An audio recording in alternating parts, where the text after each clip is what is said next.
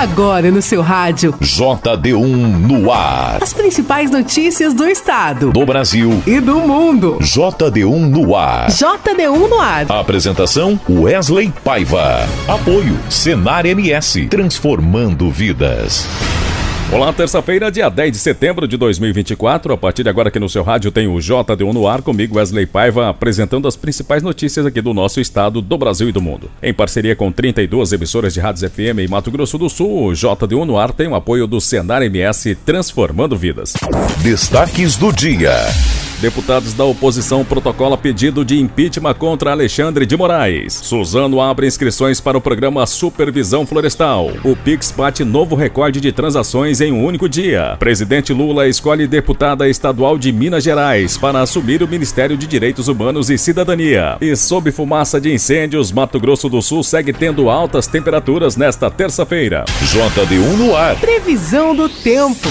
Vivendo sobre as fumaças de incêndios florestais, seja no Pantanal, na região amazônica ou em outros biomas, Mato Grosso do Sul segue tendo tempo firme com altas temperaturas nesta terça-feira, dia 10. Segundo o Centec, o Centro de Monitoramento do Tempo do Clima, a previsão indica continuidade de tempo firme, com sol e poucas nuvens e com o céu bastante acinzentado. Durante o período da tarde, a umidade relativa do ar fica muito baixa, em torno de 5 a 20%. A mínima prevista em Campo Grande é de 24 graus e máximas de 36 graus. Os termômetros em Dourados marcam inicialmente 19 graus e chegam aos 38 graus ao longo do dia. Nas regiões Cone Sul e Leste, Guatemi e Anaurilândia apresentam valores semelhantes entre 21 e 37 graus. Na região do Bolsão, Paranaíba tem mínima de 19 e máxima de 37 graus. Já Três Lagoas amanheceu com 20 graus e registra 37 graus à tarde. Em Coxim, no norte, as temperaturas iniciais foram de 19 graus e sobem até os 38 graus. Já em Corumbá, no Pantanal, a mínima é de 24 graus e a máxima de 38 graus. Aquidauana, na mesma região, apresenta variação entre 22 e 39 graus. No sudoeste do estado, o valor mais alto do dia é registrado no município de Porto Murtinho, com mínima de 23 e máxima de 40 graus. JD1 no ar. E atenção, o Instituto Nacional de Meteorologia, o IMET, lançou nesta segunda-feira, dia 9,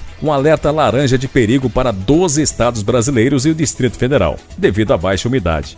Segundo o Instituto, nesses locais a umidade relativa do ar deve variar entre 20% e 12%, com riscos de incêndios florestais e risco à saúde, como doenças pulmonares e dores de cabeça. Mato Grosso do Sul é um dos estados que estão nesse alerta. O alerta também vale para o Distrito Federal, Goiás, Bahia, Tocantins, Rondônia e Mato Grosso, Minas Gerais, Pará, Paraná, São Paulo e Maranhão. Em alguns desses lugares, a umidade relativa do ar pode ficar abaixo de 12%. O Instituto também emitiu um alerta amarelo de perigo potencial para os estados do Acre, Amazonas, Santa Catarina e parte do Rio Grande do Sul. Nesses locais, a umidade relativa do ar deve oscilar entre 30% e 20%. A baixa umidade causa ressecamento de pele, desconforto nos olhos, boca e nariz.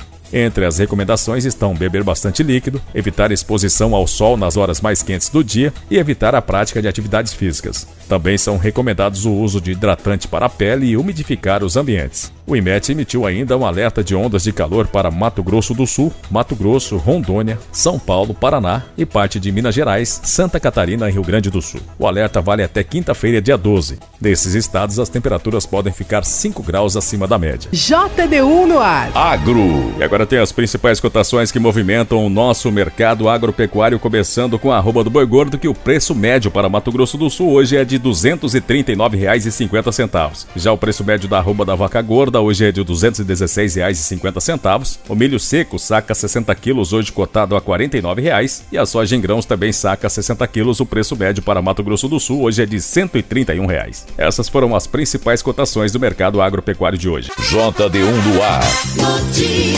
O Pix, o sistema de transferências instantâneas do Banco Central BC, bateu um novo recorde na última sexta-feira, dia 6, ao registrar pela primeira vez na história mais de 227 milhões de transações em 24 horas. Segundo o BC, foram 227,4 milhões de transferências via Pix para usuários finais, ultrapassando o recorde diário anterior de 5 de julho, que viu 224,2 milhões de movimentações. Do total, foram movimentados mais de 118 bilhões de reais na última sexta-feira, número que, apesar de ser expressivo, ainda é menor que o registrado no último recorde, que foi de mais de 119 bilhões de reais. Os números são mais uma demonstração da importância do Pix como infraestrutura digital pública para a promoção da inclusão financeira, da inovação e da concorrência na prestação de serviços de pagamentos no Brasil, diz o BC em nota. JD1 no ar. JD1 no ar. A bancada da oposição do governo Luiz Inácio Lula da Silva protocolou nesta segunda-feira, dia 9, no Senado Federal, o pedido de impeachment contra o ministro Alexandre de Moraes do Supremo Tribunal Federal. O pedido que conta com assinatura de mais de 150 deputados e o apoio eletrônico de mais de um milhão de brasileiros foi entregue pessoalmente no gabinete da presidência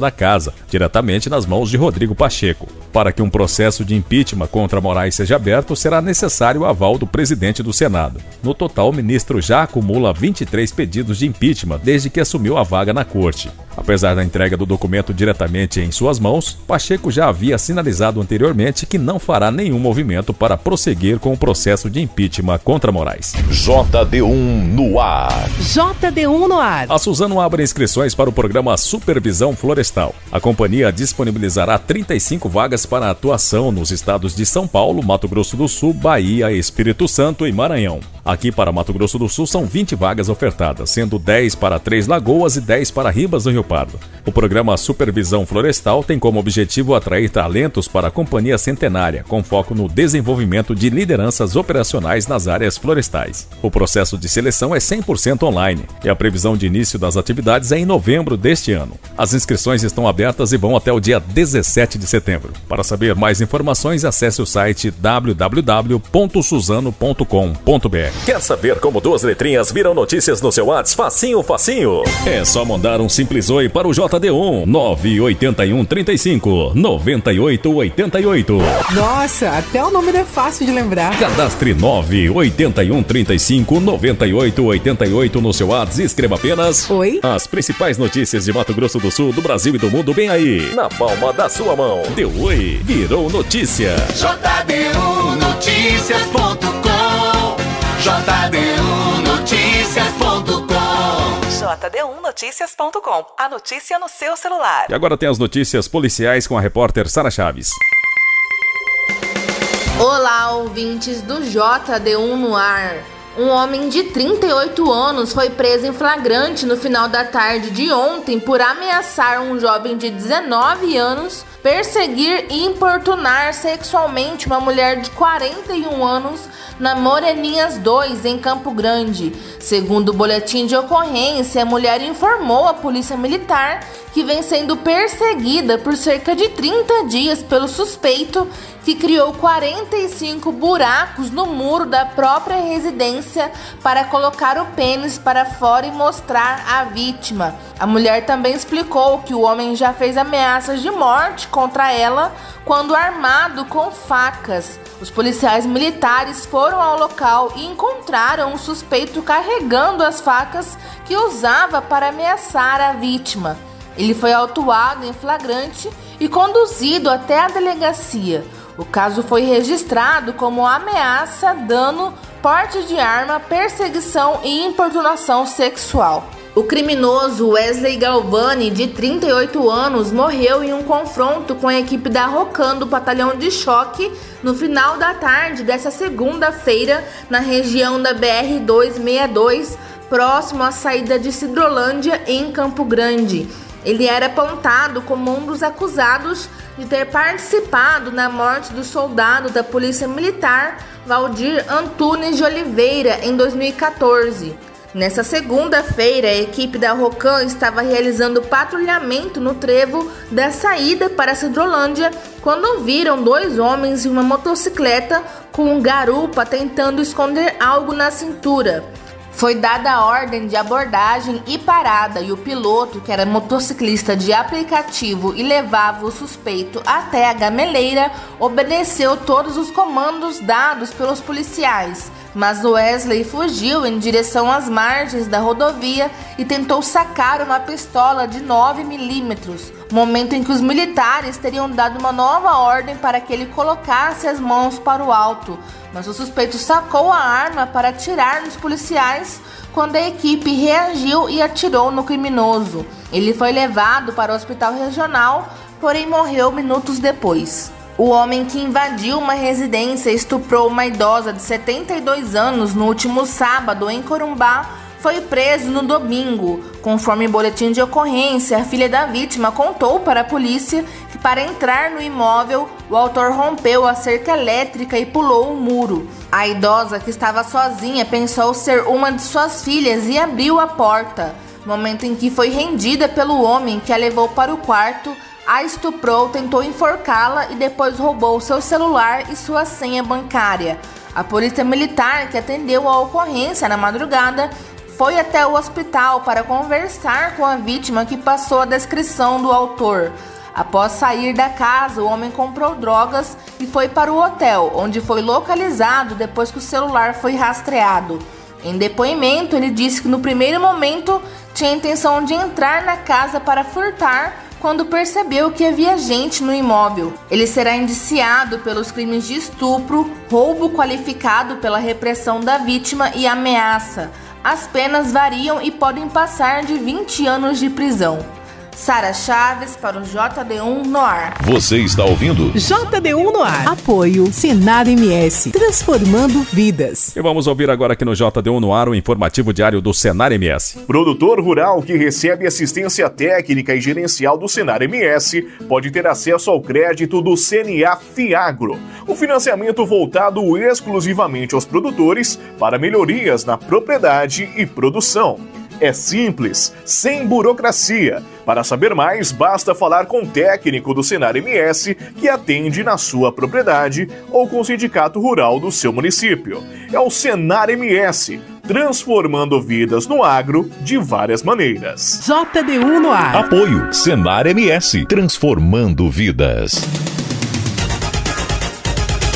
O governo do estado divulgou em diário oficial, nesta segunda-feira, dia 9, a abertura de inscrições para o processo seletivo simplificado SAD-SED AEDU, que será realizado em conjunto com a Secretaria de Estado de Educação, SED. As inscrições começaram ontem e vão até o dia 23 de setembro pelo site concursos.ms.gov.br. São 415 vagas para assistente de atividades educacionais com exigência de conclusão do ensino médio. São 396 vagas divididas em mais de 70 cidades e outras em 19 aldeias indígenas. De acordo com o edital, o profissional irá trabalhar 40 horas, com remuneração base de R$ 2.048. Confira o edital com todas as informações e vagas para cada município no Diário Oficial do Estado de ontem, segunda-feira. JD1 no ar. JD1 no ar. As denúncias de assédio sexual e moral envolvendo ex-ministros dos Direitos Humanos Silvio Almeida repercutiram no Senado. Em nota, a Procuradoria da Mulher se solidarizou com as vítimas e cobrou investigações rápidas. Quem tem mais detalhes é o repórter Alexandre Campos. As denúncias de assédio sexual e moral reveladas na semana passada,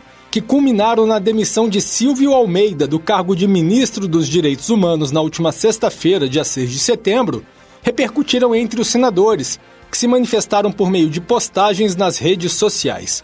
Ao repudiar qualquer tipo de assédio e violência, seja em espaços privados ou em ambientes de poder, a senadora Augusta Brito, do PT do Ceará, cobrou a apuração dos fatos e a punição do ex-ministro, caso fiquem comprovadas as denúncias. A senadora, que é presidente da Comissão Mista de Combate à Violência contra a Mulher, disse ser importante assegurar a credibilidade da palavra das vítimas que denunciaram o fato. A Procuradoria da Mulher no Senado Federal também se manifestou por meio de nota assinada pela senadora Zenaide Maia, do PSD do Rio Grande do Norte.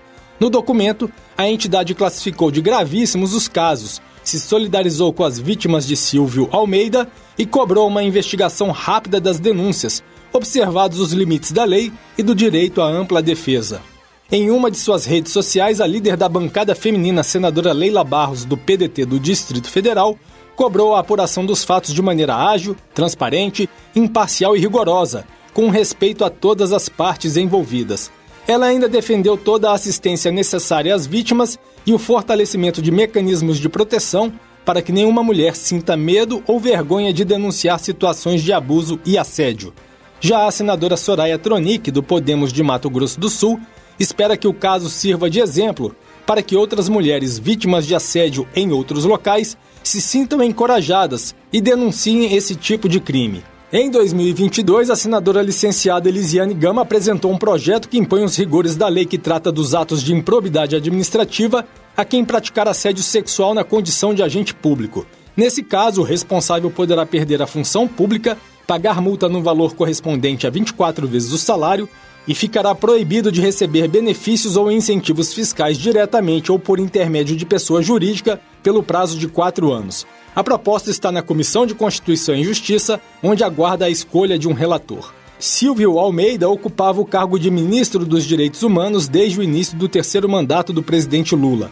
As denúncias contra ele, incluindo uma da ministra da Igualdade Racial Aniele Franco, foram feitas por meio da organização Me Too Brasil, que atua no acolhimento de vítimas de violência sexual em todo o mundo a Polícia Federal foi destacada para apurar os fatos e dar o um andamento previsto em lei. JD1 no ar. E ontem, segunda-feira, o presidente Lula escolheu a deputada estadual de Minas Gerais, Macaé Evaristo do PT, como sucessora de Silvia Almeida no Ministério dos Direitos Humanos e Cidadania. A posse deve acontecer na semana que vem. JD1 no ar. Esporte. Hoje a seleção brasileira entra em campo mais uma vez em jogo válido pelas eliminatórias da Copa do Mundo 2026. E quem tem as informações completas é o nosso repórter esportivo Dinil Almeida. Olá, estamos chegando com notícias esportivas nesta terça-feira. A seleção brasileira entra em campo para voltar a vencer duas partidas em uma data FIFA depois de um ano. A última vez que isso aconteceu foi diante da Bolívia e Peru na abertura das eliminatórias em setembro de 2023. Depois das cobranças por um melhor futebol na vitória sobre o Equador, Dorival Júnior trocou Luiz Henrique por Hendrick mas foi objetivo em entrevista coletiva ao deixar claro que o momento não é de espetáculo na seleção brasileira. Em seu décimo jogo no comando da equipe, o treinador permanece invicto e preparou o Brasil para trabalhar a bola com paciência e furar a sempre bem postada defesa paraguaia.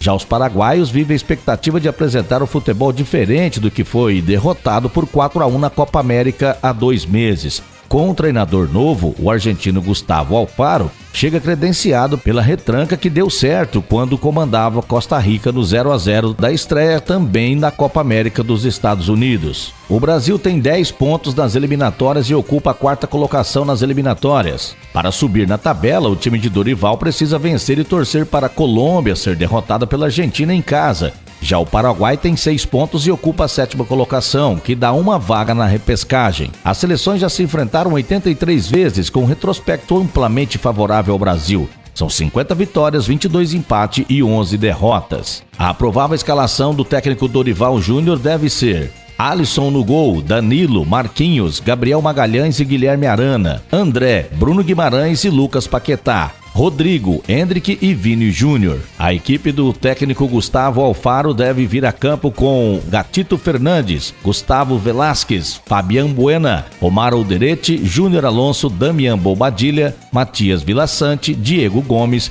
Miguel Almiron, Julio Enciso e Isidro Pita. Além de Brasil, entra em campo também hoje a Colômbia enfrentando a Argentina, o Chile enfrenta a Bolívia, o Equador enfrenta o Peru e a Venezuela enfrenta o Uruguai. E hoje tem jogos também pela Nations League. A Holanda enfrenta a Alemanha às 15 horas e 45 minutos, mesmo horário para Hungria e Bósnia. A Inglaterra enfrenta a Finlândia. A Irlanda enfrenta a Grécia, a República Tcheca enfrenta a Ucrânia, a Albânia enfrenta a Geórgia. Eu sou Dini Almeida e esses foram os destaques de hoje para o JD1 no ar. JD1 no ar, direto de Brasília. A Câmara dos Deputados lançou um guia sobre as eleições municipais, com destaque para o papel dos vereadores. Quem tem os detalhes sobre a publicação é a repórter Silvia Miato. A Câmara lançou o guia Vereadoras e Vereadores, breves orientações para as eleições de 2024 e para o mandato uma publicação do Programa de Interação Legislativa vinculada à segunda vice-presidência da Casa. O segundo vice-presidente, deputado Sóstenes Cavalcante, do PL do Rio de Janeiro, faz um apelo para que todos os candidatos baixem a publicação digital no site da Câmara, na Biblioteca Digital. Ele cita duas recomendações principais. Uma questão é o calendário de datas. É importante. E o outro é a questão da prestação de contas. Mas neste momento que nós já estamos em campanha eleitoral, estar muito atento, ter um corpo técnico de contador e de advogados é, para cada campanha de, de vereador para orientar. Primeiro que é obrigatório ter este contador e o, e o advogado, mas que possa os candidatos seguir as orientações porque eles normalmente, todos os contadores e advogados, já foram, estudaram bem as normativas atualizadas para que evite qualquer tipo de erro. Baseado nas normas da Justiça Eleitoral, o guia oferece orientações práticas sobre condutas permitidas e proibidas, propaganda política, financiamento de campanha e ética. Inclui também um capítulo especial dedicado às atribuições das eleitas e eleitos. O cientista político Murilo Medeiros destaca exatamente este ponto. É muito comum que vereadoras e vereadores sejam eleitos sem conhecerem de perto as atribuições do seu papel não só no seu papel de fazer leis e de fiscalizar o poder executivo, mas também no papel primordial, imprescindível de representar os interesses da população. Por causa disso, o guia também deve ser do interesse do eleitor. Ele reforça a importância de escolher representantes comprometidos e preparados durante as eleições municipais. Em 2024, são 430.522 candidatos a 58.464 cargos de vereador. De Brasília, Silvio Minhato. Em debate na Câmara, profissionais da cultura apontaram a necessidade de melhorar o cadastramento de profissões no Ministério do Trabalho para assegurar direitos. A reportagem é de Luiz Cláudio Canuto. A necessidade de melhor cadastramento de profissões culturais na lista brasileira de ocupações do Ministério do Trabalho foi apontada como importante para melhorar as condições de trabalho e assegurar direitos aos profissionais de cultura. Essa insegurança jurídica foi discutida pela Comissão de Cultura da Câmara. Uma das participantes representa a Associação Grafias da Cena e Heloísa Lira Bulcão considera que a falta de regulamentação leva à informalidade, com práticas nem sempre adequadas e perda de direitos trabalhistas. O mercado de trabalho cultural é notadamente diverso e ao mesmo tempo instável. Muitas das ocupações nesse setor envolvem contratos temporários, trabalho autônomo, projetos intermitentes. Portanto, a regulamentação das profissões culturais não é só uma questão de formalização, mas é um passo fundamental para garantir o reconhecimento e a valorização adequados dessa atividade. O diretor de políticas para trabalhadores do Ministério da Cultura, Derek Santana, ressaltou a pesquisa realizada pelo IPEA, que aponta a necessidade de revisão e atualização do CBO, o Cadastro Brasileiro de Ocupações. Segundo o pesquisador Frederico Barbosa, o mapeamento de atividades profissionais apontou a falta de proteção trabalhista e direitos sociais. De 20 a 30% das profissões ligadas à cultura são criadas e eliminadas anualmente. Foi analisado o período entre 2018 e 2021, quando o o número de contratos intermitentes aumentou quatro vezes. Passou de 1 em 500 para 1 em 100 contratos em média. As atividades não se enquadram adequadamente nas ocupações listadas no cadastro. Por exemplo, as profissões de técnico de áudio, técnico de som e técnico de sonorização. Essas três categorias são sinônimas, a gente não consegue. Eu, pelo menos, consigo. A Lê talvez consiga, o Miguel talvez consiga. A gente não sabe. Então a gente tem que fazer um trabalho conceitual em cima dessas categorias. Diretor de eventos, diretor técnico de eventos, é uma questão de nomenclatura ou há diferenças no fenômeno, na atividade? Produtor executivo de eventos, executivo de área de música e produtor executivo em geral. Existe diferença das atividades envolvidas? Eu imagino que sim. A representante do grupo Multicabo de Minas Gerais, Taina Rosa, é iluminadora, mas sua atividade tem nomenclatura discutível. Eu me autodenomino como técnica de luz, mas uma pessoa na mesma função que a minha, que trabalha no cinema, chama de eletricista. E de fato, a minha função versa entre as duas coisas coisas entre um trabalho com eletricidade, com altura e um trabalho criativo. E isso gera uma incompreensão para quem está fora de como funciona. Ela, por exemplo, começou aos 16 anos a trabalhar e não vai conseguir se aposentar como eletricista com idade menor pelo risco de trabalho, mesmo que tenha mais risco do que o eletricista, porque seu trabalho envolve risco de altura.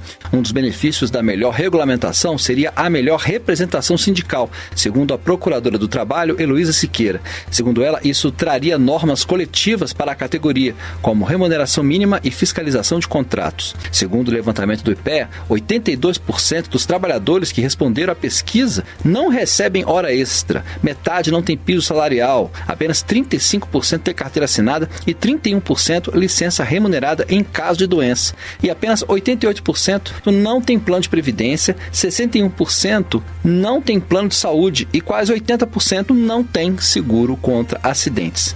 Para a deputada Érica Cocai, do PT do Distrito Federal, que presidiu a reunião e pediu o debate, a garantia de direitos é fundamental para valorizar a cultura nacional. Segundo ela, já existe uma discussão no Ministério do Trabalho com o Ministério da Cultura para proteger os profissionais das artes. Na Câmara, o debate vai continuar. Eu penso que a gente deveria fazer, para a gente fechar, uma nova audiência pública com experiências internacionais, a gente tentar trabalhar uma proposição a partir desse projeto de produtores de eventos, de regulamentação da produção de produtores de eventos, onde a gente pode até fazer um capítulo à parte, se for o caso, tem que analisar, mas um recorte para os trabalhadores na cultura Outra sugestão é articular com o governo para que nos futuros editais de cultura haja aumento de garantias trabalhistas aos profissionais da cultura. Atualmente, a proteção ao trabalhador de cultura é uma lei de 78, que regulamenta as profissões de artistas e de técnicos em espetáculos de diversões. De Brasília, Luiz Cláudio Canuto.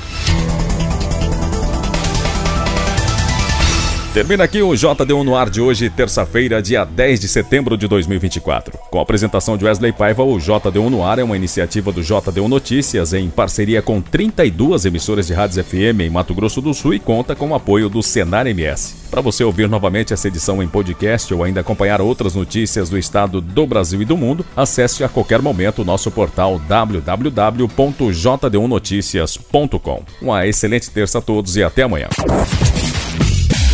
Você ouviu? As principais notícias do estado, do Brasil e do mundo. JD1 no ar. Apoio Senar MS, transformando vidas.